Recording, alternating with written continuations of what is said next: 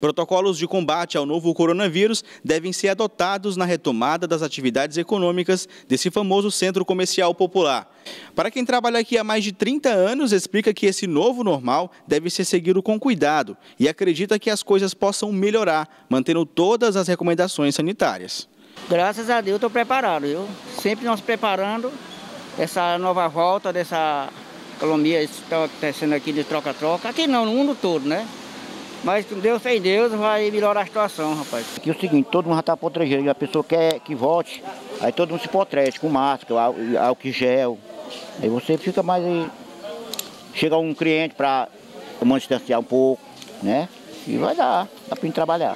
Segundo a SDU Centro-Norte, o funcionamento do local será fiscalizado e que o controle no fluxo de pessoas deverá ser observado pelos órgãos competentes. A nossa equipe de fiscalização vai intensificar suas ações no centro da cidade, principalmente na região troca-troca. Por ser uma área aberta de grande movimentação, a nossa equipe vai, vai pedir auxílio à vigilância sanitária para poder elaborar um protocolo próprio de segurança para os, os, os funcionários que, que, trabalham, que trabalham lá no local. Mas, independentemente disso, nossa equipe vai lá para manter o distanciamento seguro entre as pessoas e os vendedores que lá, é, que lá transitam todos os dias. A Natália, que trabalha vendendo quentinhas, espera otimista por essa volta e que, mesmo com todos esses problemas, ficar parada é o que não pode acontecer. Todos nós temos que trabalhar, né? O bom ou ruim, a gente tem que vir fazer o nosso trabalho.